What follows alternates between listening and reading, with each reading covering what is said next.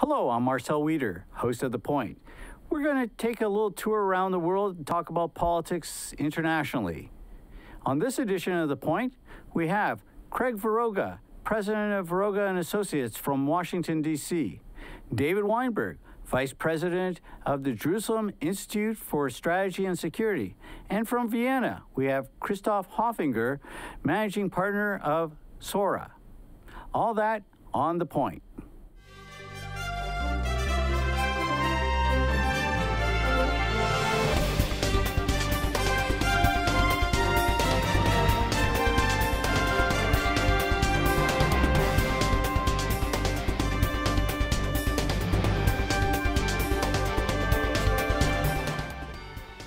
Today from Washington, D.C. is Craig Varoga, President of and Associates, a Democratic strategist.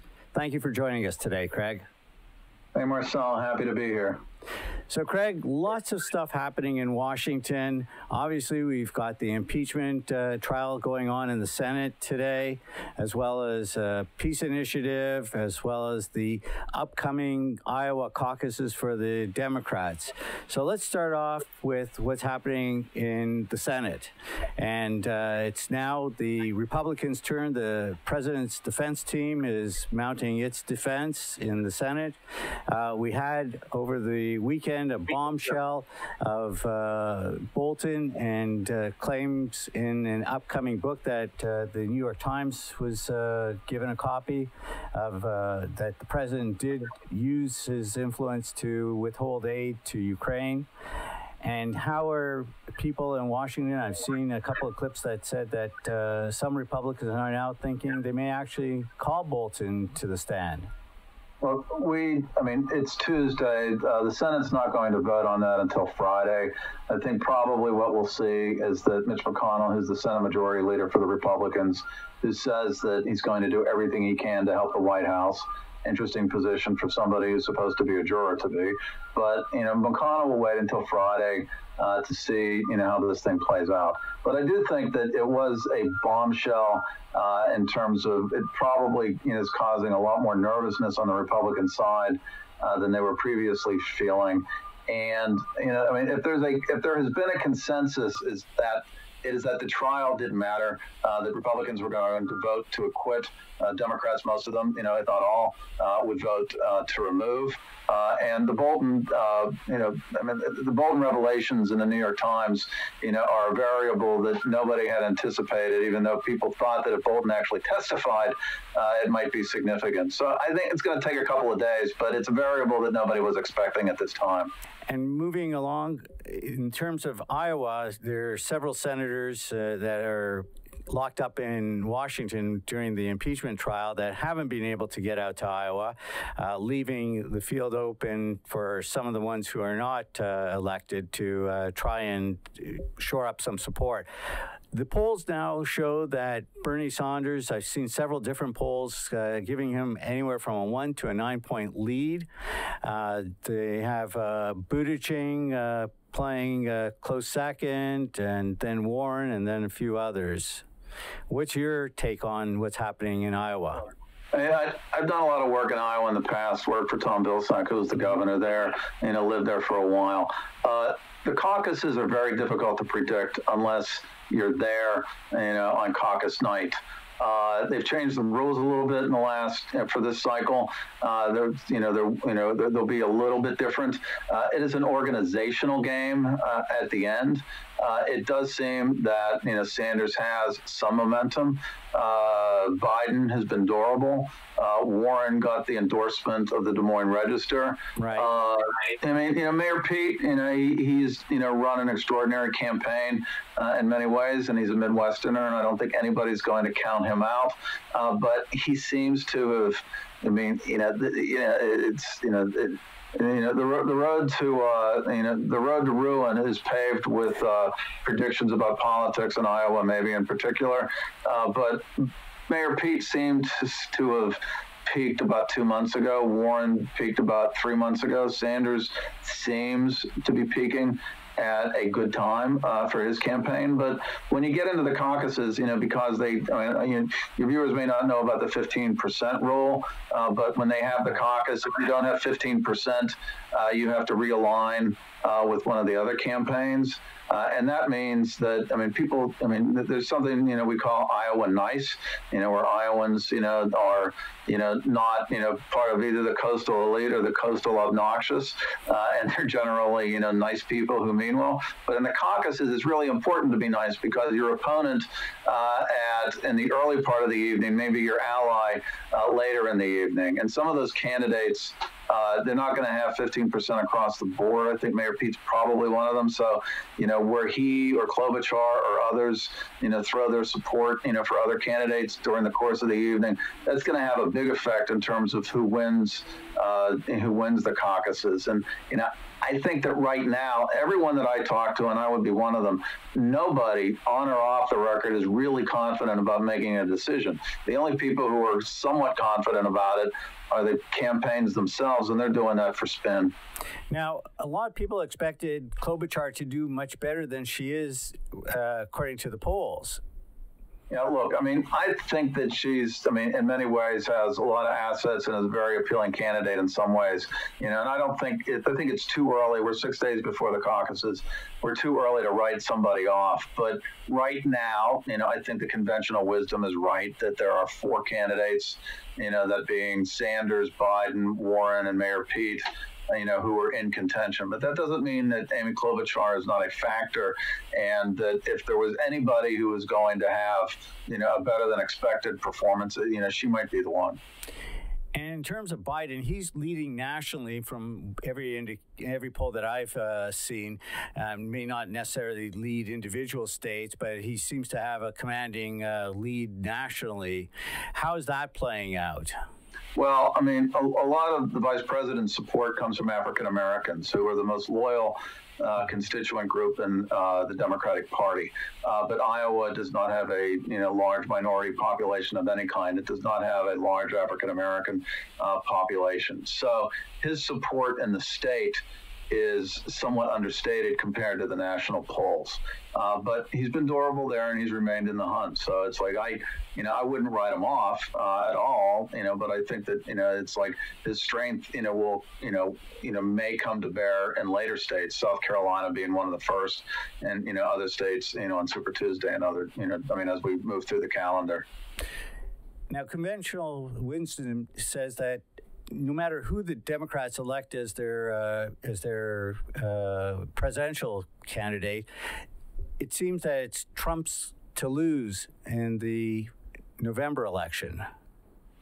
Look, I, you know, I, I, was one of those people in 2016 that I kept saying to uh, friends, colleagues, clients, reporters that um, I thought Trump was in a strong uh, position. I did not, mm-hmm. I wasn't predicting he was going to win, but I thought he would be very competitive for a number of reasons. We don't have to litigate the past, but I do think it informs, you know, one way to look at the coming year, you know, and the way in which, you know, I would, you know, ask your viewers to look at it is that, you know, Trump has 40% of the vote tied down. Uh, you know, he famously said years ago that he could shoot somebody uh, on Sixth Avenue in, in, New York and it, you know, they would still vote for him. Uh, I think we're seeing that in the in the Senate trial, uh, despite the Bolton bombshell. 60%, somewhere between 55 and 60% of the country want to vote against Donald Trump. Uh, and if that's how the vote ended up, uh, Donald Trump would lose. However, however, and this is, this is a big deal, we don't yet know who the Democratic opponent is. Uh, right now, the Trump campaign has not been focused uh, with any kind of you know laser efficiency on any one of the candidates you know who are running against him. Uh, he's not going to run a campaign to win. He's going to run a campaign to try to force uh, the Democratic nominee, whoever that is, uh, to lose. So that's the biggest variable. You know, I think that you know, it's like it's a question of you know how far down below 60 uh, the Democrat falls. Uh, you know, one just based on the natural you know politics of a you know a year long campaign, and two, you know who the nominee is, and we don't know who the nominee is yet. So that's that's the biggest variable, obviously. Now there are two billionaires running for the Democrats. You've got Bloomberg and you've got Steyer.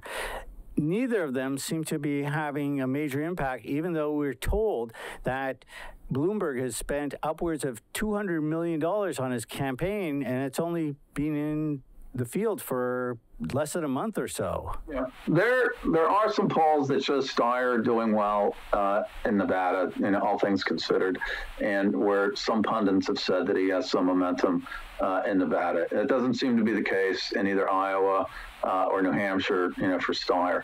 Bloomberg has made a very deliberate and strategic decision to skip the first four primaries, and he really is the wild card uh, in assessing uh, you know how the Democratic field you know plays out. There's an old truism that people don't stop running for president uh, because they lose primaries; they stop running because they run out of money. Exactly. Uh, so, I mean, you have, you know, I mean, you know, I mean, you have Sanders and, and Warren who have a very significant individual donor base, and then you have Steyer and uh, and Bloomberg, you know, who are not constrained uh, by fundraising and can just, you know, put their own money in. So there is structurally the potential for this to be a long race. Uh, Bloomberg has just hired an awful lot of people. Uh, I mean, he has, in addition to all the money he spent on TV, I think he's hired a thousand staffers or somewhere in that neighborhood. That's unprecedented. Uh, he's building organizations that are outside of the first four states, those being Iowa, New Hampshire, uh, Nevada and South Carolina. So it, it's it's a big variable, and you know very few people know you know what to think about it. But it's like his name ID is increasing, uh, and you know people just I mean it's it's anecdotal now, but people are starting to talk about him a little bit, uh, whereas you know two months ago they weren't. So it's you know again we'll see. It's but an awful lot of variables. This is this really is kind of unprecedented. I don't know any other election where six days before the Iowa caucuses that most pundits or prognosticators really didn't have uh, much of an opinion uh, about who the nominee would end up being. That's very interesting. Now, shifting just uh, slightly, the Democratic Party itself has some some issues internally. Uh, there's a very strong and vocal faction that's on the very left of the party, and it seems to be pulling it even further left, and seems to be out of step with what most Americans feel comfortable in terms of politics. How do you see that playing out? Well, I mean, you know, you know, one way, you know, for your viewers, you know, to think about it is that if both the liberals and the NDP were the same party, you know, that's you know who the Democratic Party is, you know, and instead of there being three parties, there's 2 mm-hmm. um, there are people, you know, who are worried uh, that if the Democratic Party goes too far left, that in this election that they'll hand the election to, uh, to you know to Trump just the way that you know many people believe that the Labour Party in uh, you know the UK you know, handed the election to Boris Johnson despite the fact that Johnson wasn't very popular himself. Um, you know, I don't think we're there yet. You know, I think that the um, you know, I mean, again, you know, we'll see. I mean, there are people who will, you know, I mean, you know, swear on a Bible that if it's uh, Bernie Sanders that he's going to lose and he's going to lose by an awful lot. And then there are progressives, you know, who say that, you know, you have to energize the base. You know, I think that, you know, I mean, where I think we need to be is that we have to be very attentive you know, to the 20% of the voters in the United States who are not Democrats, who want to vote against Donald Trump and who want him to be defeated. And I think that, you know, they deserve, you know, to be part of this conversation. And so far, you know, during the primary, you know, they haven't been the focus because they're not the people who participate in Democratic caucuses and primaries well. Mm-hmm. And speaking of Donald Trump, he was the first president to attend a right to life uh, rally in Washington, D.C. last week. Yeah, I mean, look, he he has, you know, I mean, d- despite the fact that you know that he does not exhibit the piety of many practicing Christians, uh, you know, he's made a very deliberate decision to cater to that constituency, and you know, they have shown him voter loyalty uh, regardless of what his past, you know, may have been. You know, is that really who he is? You know, I guess there, you know, I cannot look into the soul of anybody, but it's it probably isn't. Uh, but you know, in terms of you know getting advice, you know, from his political consultants, he made a political calculation to do that. Mm-hmm. And really, we haven't seen much else of Trump's initiatives, either either domestically or internationally. Yet today, he is in the White House with uh, the Israeli uh, Prime Minister Netanyahu presenting his peace plan. And he's using that to leverage domestically to take attention away from the impeachment, as well as to bolster support within the Christian uh, evangelical community with some of the proposals that he's making. Well, I mean, you know, you can love him or hate him or think that this is right or think that this is wrong, but everything he does is driven by TV appearances. And, uh, you know, when there are foreign leaders in the United States, you know, he invites them to the White House and they end up being props, uh, you know, in a camera opportunity, you know, at the White House. You know, I, you know, you know, have a great regard, you know, for the state of Israel. Uh, I think it's unfortunate that they're being used as campaign props. Uh, but you know, we'll, we'll, we'll, we'll, see how that we'll see how that plays out. But clearly, you know, I don't think that anyone thinks that. Uh, you know that the Trump administration is going to achieve peace in the Middle East. This is this is about the election. You're correct. So, getting away from the personalities, what are the central issues? Is the economy a key issue in the U.S.? What is going to be driving the 2020 election and getting voters' attention? Well, I think that I mean healthcare will always be uh, an issue, you know, in this election because the Trump administration uh, wants to take healthcare away, uh, wants to repeal Obamacare, which at this point is taking healthcare away uh, from Americans. Uh, the economy. Uh, you know, if you look at the big macro numbers like the stock market, the economy is doing well. However, if you look at the people who've withdrawn from the labor force, uh, because they're discouraged workers. Uh, that's a factor. If you look at income inequality, income inequality should be a significant factor. You know, I also think that if you you know take a look at the states that are the swing states, in many cases the economy is not doing as well there.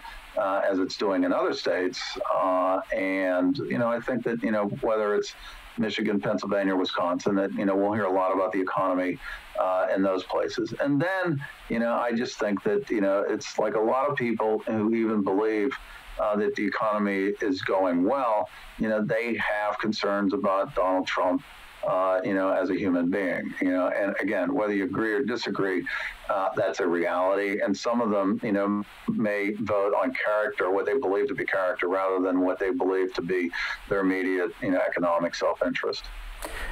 So, what are the states that we should be watching over the course of the next few months as we lead into both uh, the nomination and then into the general elections? Well, the, the, the, states that are going to get the attention in the next you know several months, you know, will be the states that determine the Democratic nominee, which in many ways are different from the states that will actually determine the presidency in the fall.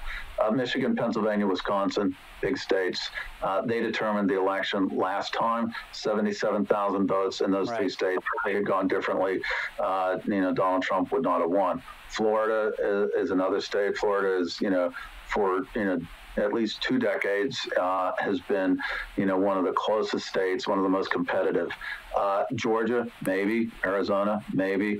Uh, many, Minneapolis, Minnesota, uh, you know, will be, you know, one of the states that, you know, people see where the Trump campaign certainly seems to be paying more attention to that, where they think that they, it's a state that Hillary Clinton won, but the Trump campaign thinks that they could flip uh, that uh, in the opposite direction. I think that those are, you know, that, that gets you up to about seven states, you know, where, you know, people, you know, really need to pay, you know, close attention to in terms of following uh, this election. Ohio, maybe.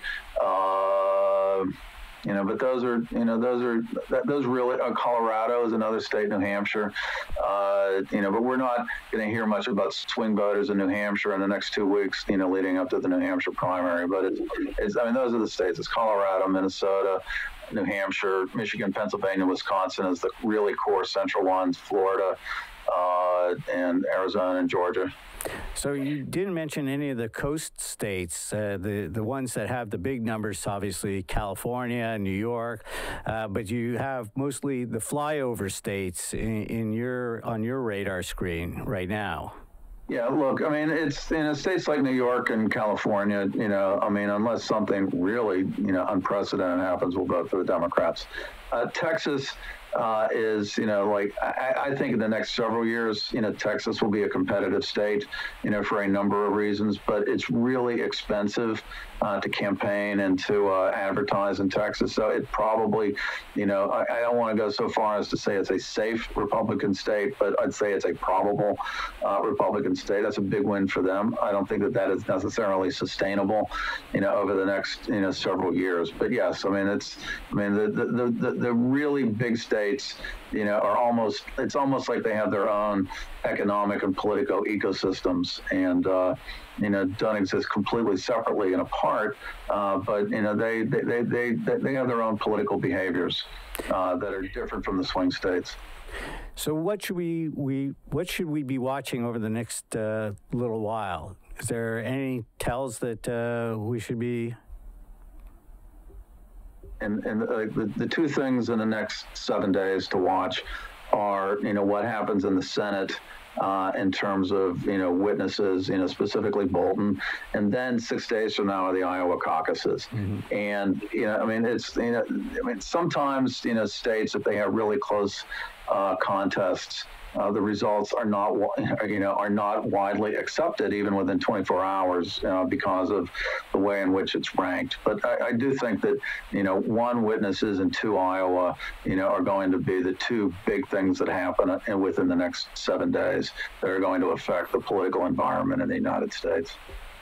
Craig, thank you so much for your time. I hope we get to do this again in the near future. We can compare notes.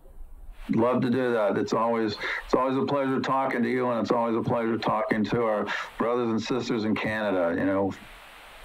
Well, again, thank you so much, uh, Craig Varoga, joining us from Washington D.C.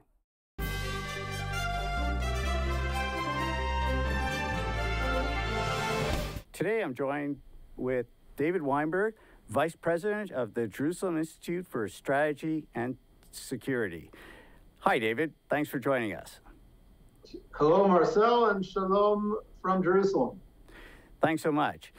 David, it's really interesting that Israel is facing its third election in about 12 months. I think that sets some sort of record in terms of uh, democracies having so many elections in such a short period. Can you give us a little bit of a background as to what caused this uh, third election?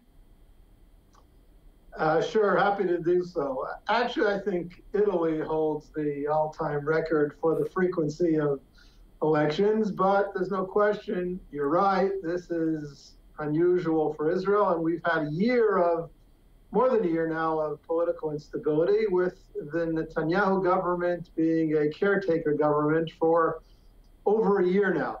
Uh, some say that suits Prime Minister Netanyahu just fine. Um, he's unable to cobble together a governing coalition in Knesset. So you throw uh, the political system into renewed elections as a way of extending your term. But it is um, it is worrying. Before the uh, most recent election, um, last September, uh, analysts were calling this a year of political upheaval. After all, Prime Minister Netanyahu is under indictment for in three criminal investigations, and four top former generals of the Israel Defense Forces have lined up against him uh, in a rival party uh, in an attempt to overthrow him, and they've tried twice um, and failed. So we've had a year of political stagnation. The interesting thing is, is that throughout the last three elections, the numbers basically haven't changed. Um, the right wing in Israeli politics holds about 55% of the vote. Um, including 80% of the vote in Jerusalem. Uh, the left wing holds the balance, and those numbers essentially haven't changed over close to a year and a half of uh, repeat elections. In other words, the core socio political divide in Israel remains quite constant. Um, it's mainly explained by um, an income uh, ideological gap, Israel's version of identity politics, if you want to call it that, as well as the long shadow of the failed Oslo Accords and the regional upheavals, what's wrongly called the Arab Spring, that's happening all around us. And I think Israelis have internalized the message that there are no magical solutions um, to their big challenges, not in the security field, not economically, um, or in the societal realm. There are no fairy tale diplomatic gambits worth taking, and in the end, there is no better magician to handle it all than Benjamin Netanyahu, who's been prime minister now for longer than anyone else in Israel's history, uh, over 10 years in four terms, uh, which leaves us with a lot of elect- empty election campaigning and sloganeering. Um, a thin cover for inertia and lethargy in Israeli politics. So, what's going to break the logjam and get to a government, whether it's a renewed mandate for Netanyahu or it's a new government with uh, one of the other major parties? So, there are um, three or four things that could rejigger the political landscape and, as you say, it break the logjam. One is, in simple political terms, if one of the um, swing coalition partners in Knesset, that's uh, Victor Lieberman's party, it's called the Israel Beiteinu Party, it's a mm-hmm. party made up of primarily Russian immigrants, um, if he switches sides. He had been partner in successive Netanyahu right wing religious coalitions. He's now conducting a, a two year long political vendetta to bring Netanyahu down. But if he switches sides again, Netanyahu could have a coalition government. That's one possibility. Second possibility, and that's really the more interesting of, of the three I wanted to highlight, is that um, the current um, dramatic, uh, diplomatic um, gambit that's playing out today in Washington. Two and a half hours from now, President Trump is about to unveil his long awaited uh, deal of the century, as he calls it, his plan for Israeli Arab, Israeli Palestinian peace. And while there isn't going to be any peace, unfortunately, because the Palestinians refuse to engage Israel and engage the Trump administration, it nevertheless holds the potential. This plan holds the potential to um, change the situation on the ground, to green light unilateral Israeli action, to secure sovereignty over parts of Judea and Samaria, the West Bank, something that's been held in abeyance for over 50 years. Um, and that gives Netanyahu a diplomatic say, a diplomatic issue, a defense issue to go to the public in the four weeks left till our next election, four or five weeks, and campaign in territory that is uh, his baby, the diplomatic defense sphere, and try to distance the political conversation as much as possible from the indictments and his legal troubles. That's a second scenario. And the third scenario, which is in the opposite direction, is that um, Netanyahu fights an election, um, comes out on top, or ends up stalemated with his main rival, the blue and white center left party. And then the Israeli Supreme Court steps in. Um, and there is an issue as to whether a political leader uh, facing lengthy trial uh, for three sets of criminal indictments um, can be tasked with forming the next government. Now, Israeli law doesn't rule this out, but it will be challenged in the Israeli Supreme Court. The Israeli Supreme Court is the most interventionist court in the entire Western world. Hmm. Uh, and some think that it's itching, aching to hand down a um, unprecedented ruling uh, which would instruct the president of Israel to choose someone else, that he can't task Netanyahu with forming the next government, even if he comes up on top in the polls, given the indictments against him. And that, of course, changes it. So, in all three of your scenarios, you didn't outline an opposition option where the opposition could conceivably uh, take power or win uh, plurality of the seats. I- am curious as to know why you don't see that as being a viable option. All of the ones that you've indicated center around Netanyahu and his Likud party. That's correct, Marcel. Um, and that's for two reasons. Uh, number one, the polls uh, do not show none of the polls show that um, the rival, the opposition, the Blue and White Party, um, which has never won an election, it's a relatively new party that's been cobbled together from four disparate pieces just over the last two years. They've never won an election. Uh, the polls do not show them having a stable coalition, um, no matter how you slice it. Um, in order to end up with 61 out of the 120 seats in Knesset, blue and white would have to bring in the ultra Orthodox Jewish parties on the one hand, and the Israeli Arab parties on the other hand. That doesn't work. You'd have to bring in some of the hard right factions that are Netanyahu's right, um, together with uh, labor and Meretz, which are hard left. Um, even if it was theoretically doable, it's not a coherent government, um, wouldn't make for coherent policy making, wouldn't last long. Blue and white's only chance to head a next Israeli government is if somehow they were to partner with the Likud, and they won't do that as long as Netanyahu, who's under indictment, remains at the head of the Likud. That's how the talks uh, for coalition making fumbled uh, just several months ago. Netanyahu were to be knocked out by the Supreme Court, as I said, then there might be new possibilities for a Likud blue white coalition, but that's a long way off. Now, some people have pointed out what's happening in Israel as a reason why proportional representation is not a good uh, way of selecting a government. And so, is there some feeling that maybe Israel needs to change its electoral system? There's talk of that every once in a while. I don't see it gelling. Um, I'm not convinced that the system is the root cause of our political stagnation well, or people paralysis. Are saying, people are saying that these small religious and other uh, groups have too much power and too much sway in terms of a government. It, it doesn't lend itself. There hasn't been a majority Israeli government in almost 40 years. No, in 70 years. There's never been a majority okay, Israeli government. 70 years. Every Israeli government has been a coalition of larger parties with lots of these small, narrow sectoral interest parties, as you suggest. But I'll make an argument uh, for their value.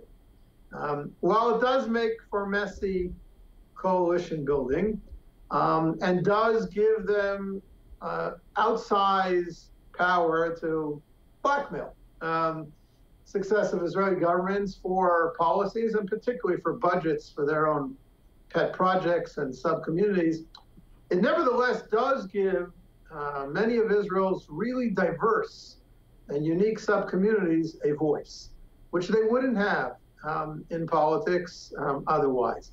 It's very hard um, for ultra Orthodox Jews to vote for um, a general party.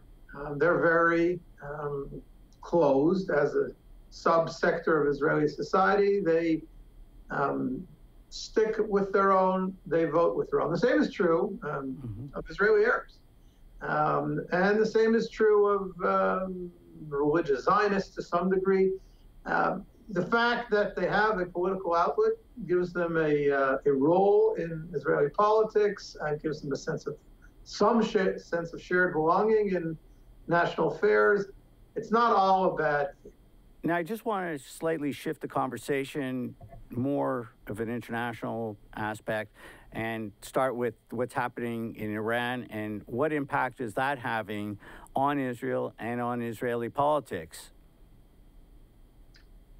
Okay, thank you for bringing that up, Marcel, because I think it is important for our listeners uh, to understand uh, the centrality um, to Israel uh, to all Israelis, to all Israeli political parties, to all the major leaders of the parties, of the, um, the security threat uh, coming from Iran. Um, Iran's um, naked um, march towards regional hegemony and its open and bald drive for nuclear weapons, its regional muckraking um, its international terrorist um, endeavors, um, its undermining of um, relatively moderate Sunni Arab regimes that circle Israel, um, pose a grand strategic challenge for Israel. And cutting Iran down to size is both Israel's number one strategic priority, and it should be, from Israel's perspective, the number one international um, security concern as well, because Iran threatens, as I said, not just Israel, uh, but many of uh, Israel and the West's Arab state partners in this region, um, and much beyond the Middle East as well. Uh, as you know, just about a month ago, um, President Trump uh, ordered a strike, uh, an assassination on Qasem uh, Soleimani, who was the head of the Iranian Revolutionary Guard Corps, so called Quds forces, which were the um, almost Nazi like stormtroopers of the uh, Iranian regime, uh, the front line commandos um, that were running um, Shiite militia armies across the Middle East, including two of them on Israel's borders. That's Hamas in the south and Hezbollah in the north.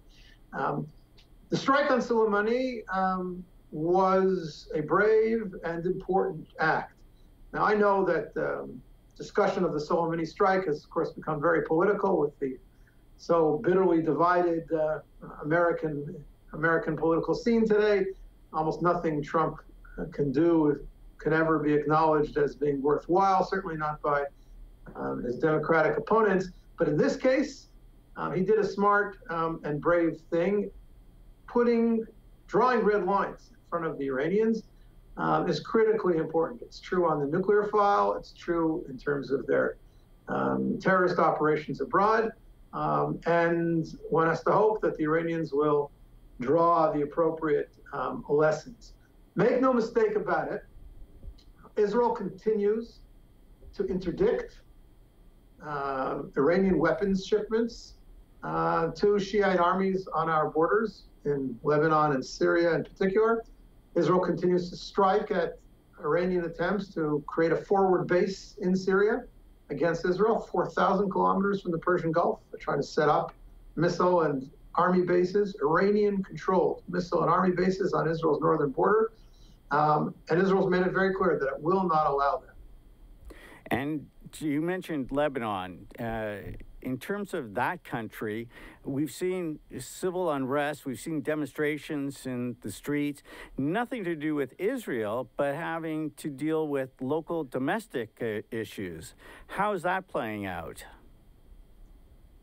Lebanon is uh, one of those countries, and there are several more in this region, um, that have a, um, a flag, an ambassador at the UN, and they still appear on world maps, whether it's Google Maps or in our old paper atlases that some of us still have at home over a certain age, and yet it doesn't really exist.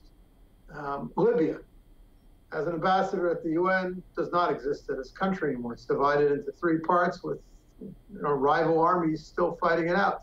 Yemen has long not existed as a unitary country. The same is true of Lebanon, and the same is true of Iraq. Uh, and in the specific uh, case of Lebanon, it's essentially a Hezbollah controlled country. Hezbollah is a Shiite army fully funded and backed by Iran, which has one of the largest armies in the Middle East. Hezbollah army in Lebanon is larger than most Western European armies. It holds anywhere from 120 to 180,000 rockets and missiles, all aimed at Israel.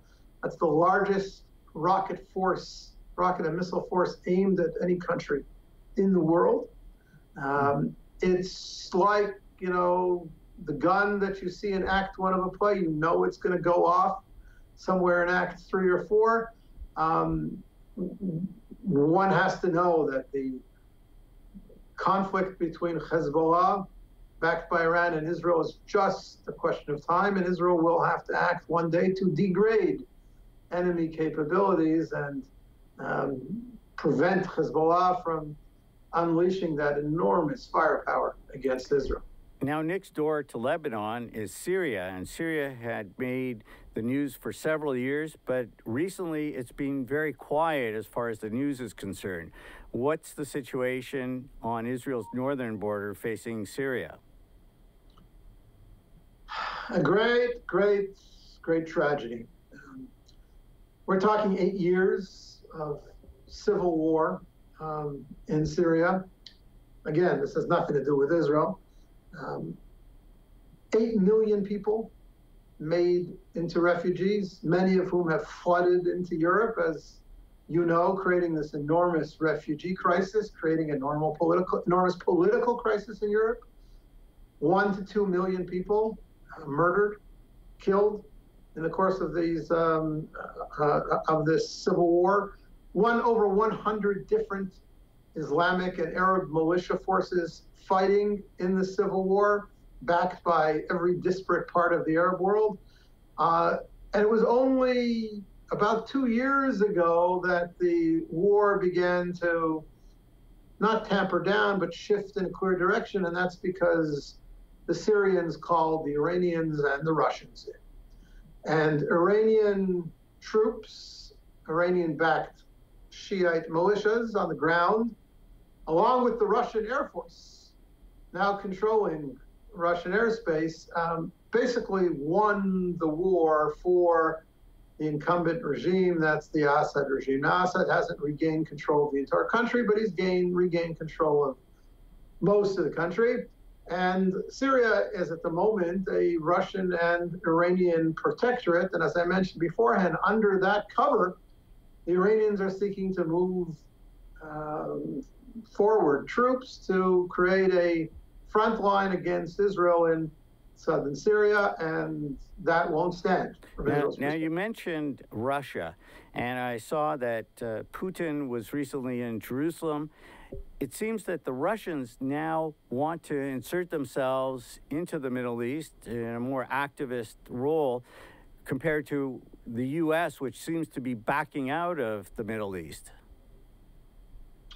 Uh, that's correct. Uh, Putin was here in Jerusalem last week for the International Holocaust Forum, along with over 50 heads of state, kings, queens, president, princes, presidents, including the Governor General of Canada, Prince Charles. Um, He's not the, the Governor General, but just for the record. Prince Charles of, uh, of England, uh, President of Germany, uh, and so forth. And tomorrow, Tomorrow, Prime Minister Netanyahu is flying from Washington, where he's about to hold a big press conference with President Trump to meet uh, Putin in Moscow, and um, and it's it'll be the 10th or 20th time the two leaders have met over the last several years. Uh, Israel has a, a, very dicey situation. On the one hand, Israel's greatest ally and most important strategic partner is the United States. On the other hand, Putin has moved into the region uh, made himself in many ways the sheriff of the region. His Air Force flies on our northern border, and Israel needs to coordinate with the Russians in order uh, to continue pushing the Iranians back. And Putin, of course, is playing a double game where he allows the Iranians to move in and then allows Israel to strike at the Iranians at the same time. And in a situation where um, the United States is withdrawing from direct active intervention reason. Again, it's not so easy to leave the Middle East as Obama discovered and Trump is discovering now as well. And when the Iranians push too far, as they did when they killed Americans in Iraq, the United States is forced to respond. But President Trump has made it very clear that he does not want to send American troops uh, into Iraq, Afghanistan, Syria, uh, anymore. Um, he's looking to um, handle Middle East crisis crises from afar. I expect that we will yet see a renewed U.S.-Iran negotiation, if not this year, um, after the American uh, elections, uh, perhaps in 2021, because that is what Trump wants. That what what a Democratic candidate uh, will want. And then that will raise the question about uh, will it be a real negotiation that will hold the Iranian feet to the fire, not the and not reach a sellout softy deal with the Iranians as did President Obama. Now, the other world superpower is China. And China is pursuing a very different course of action, not military, but economic, and has reached out and had deals with Israel and a number of other Arab countries. Would you care to comment on that? China is not a major defense or diplomatic player in the Middle East. It is, as you suggested, a growing an economic force both in the Middle East and in Africa. Um, and Israel has set out over the last decade under Netanyahu and done so very successfully.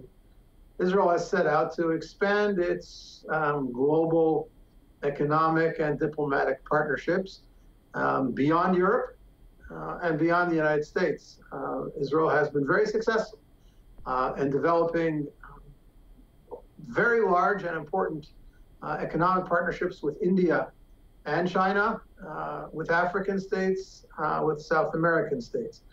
There is a debate. There is a debate here in Israel about how much Chinese investment and how much Chinese investment in Israeli infrastructure uh, Israel ought to allow. It's a debate that you're familiar with in Canada mm-hmm. um, as well.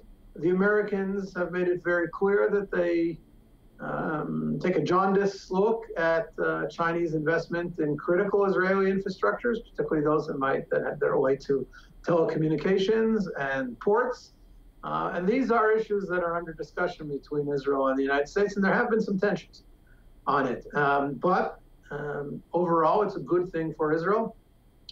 Uh, the Chinese have been buying Israeli technology and investing in Israeli infrastructure projects dramatically. They're also investing heavily in Egypt, uh, which Israel views as a good thing.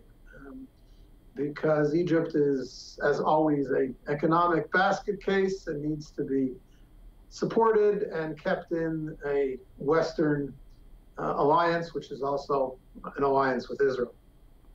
David, uh, we've run out of time. There's so many more subjects I'd love to cover with you, and hopefully you'll be available to chat about them, as well as the Trump Peace Initiative, which is going to be presented later today, as you point out. Glad to have been with you. Be glad to talk again. Um, stay warm over there in Canada. I won't tell you how balmy it is over here. Oh, don't make me jealous. I'm joined by David Weinberg, Vice President of the Jerusalem Institute for Strategy and Security, based in, in Jerusalem. Thank you so much for joining us today.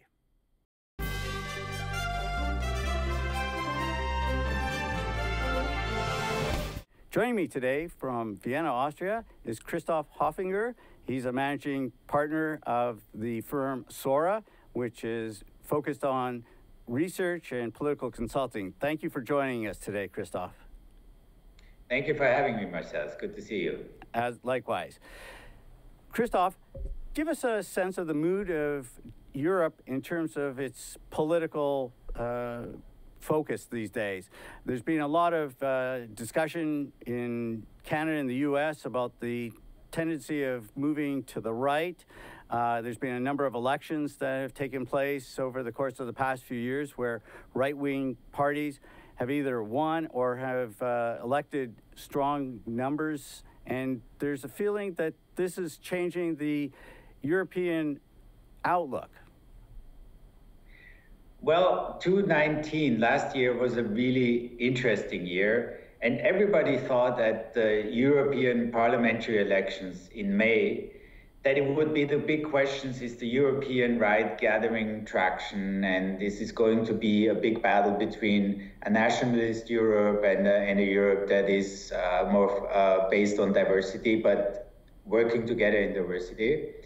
And then what happened on in May is that it actually is something that we call the green wave. It turned out to be an election about climate change, and the movement that was in the streets uh, like inspired by Greta Thunberg, the Swedish activist, right. had actually swapped into the voting booth, in, into the electoral uh, behavior, especially of uh, voters under, below 30 years old.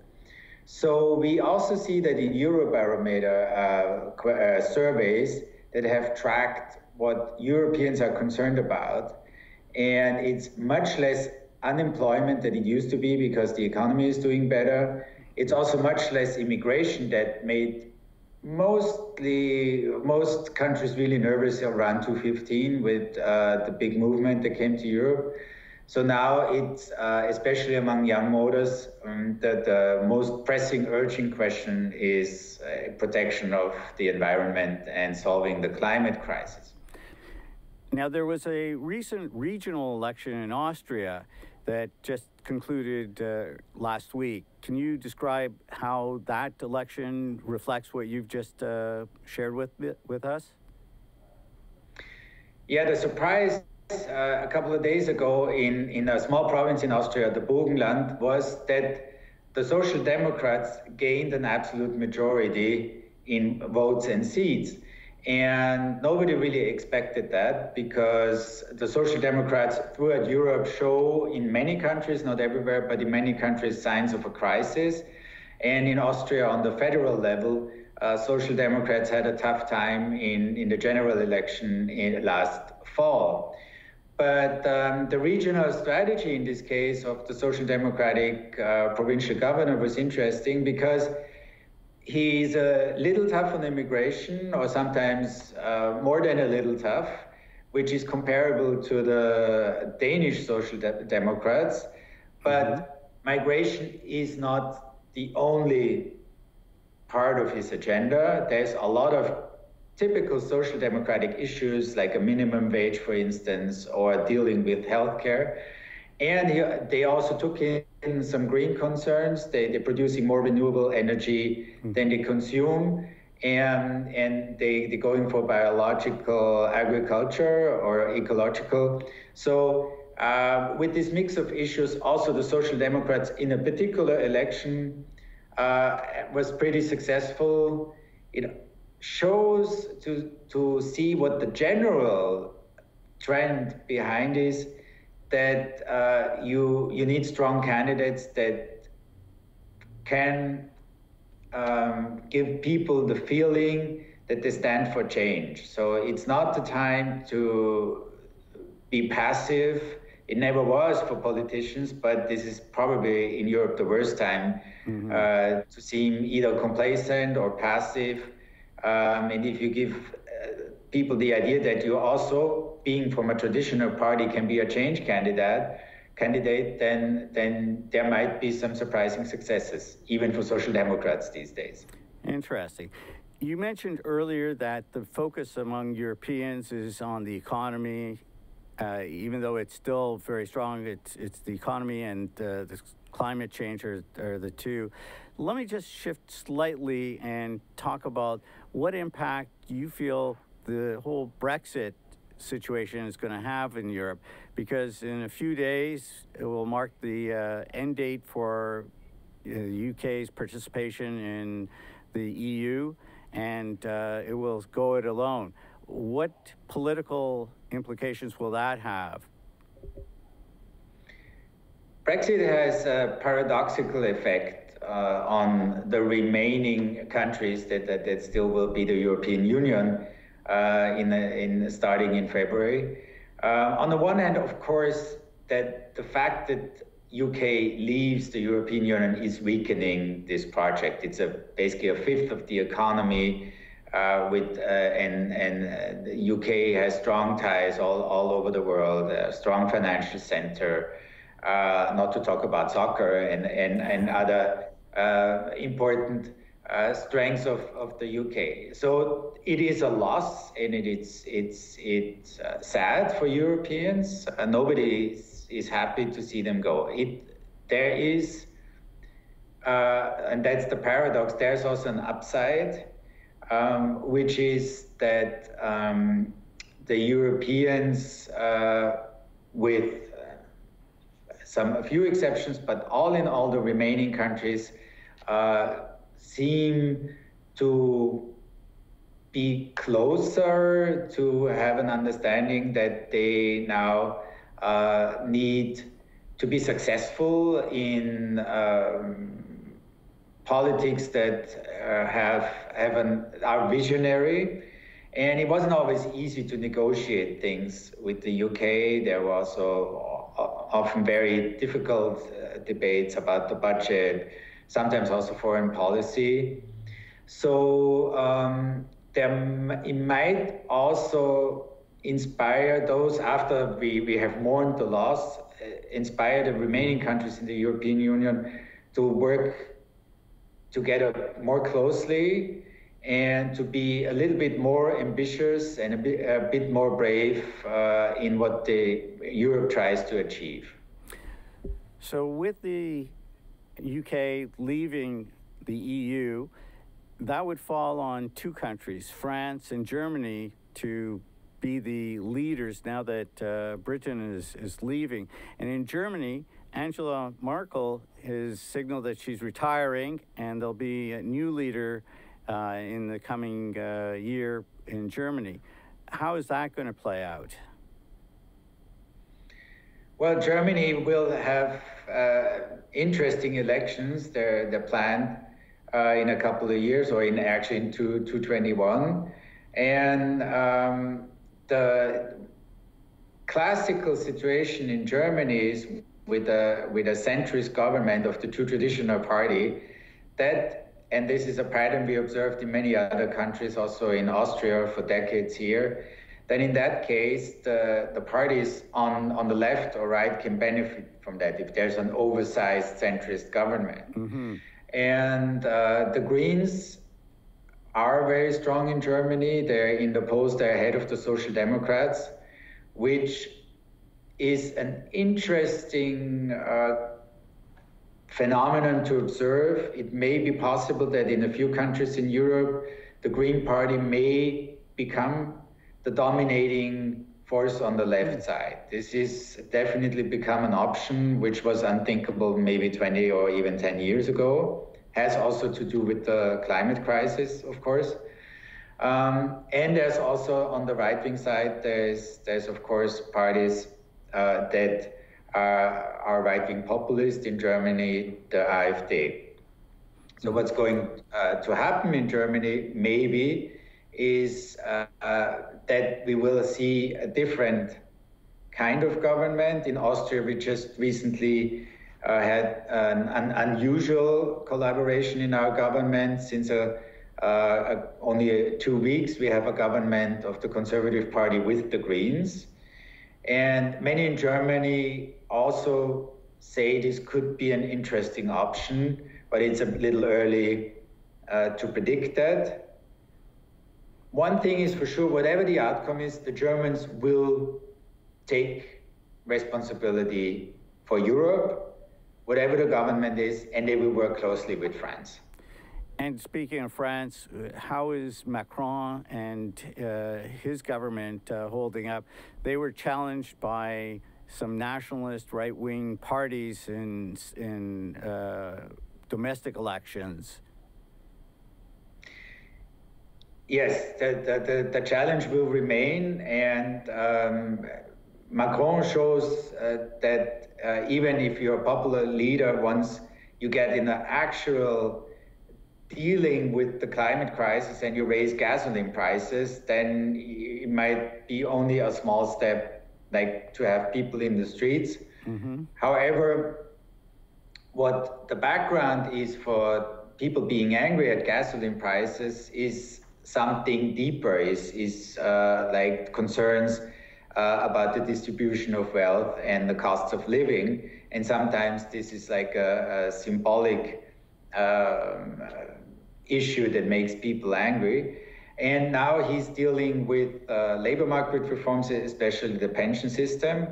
Uh, he remained as the change the change candidate that Macron was. He remains a change politician, and of course that he encounters resistance with a change agenda, and it's very hard to predict from outside if he will like be successful or if his reforms will not be carried through and he'll get stuck. Mm-hmm.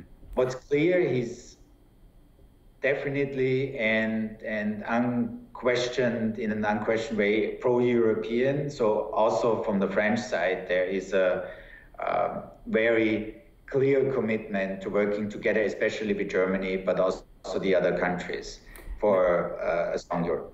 Now, not a member of the EU, but certainly cast a shadow is Russia.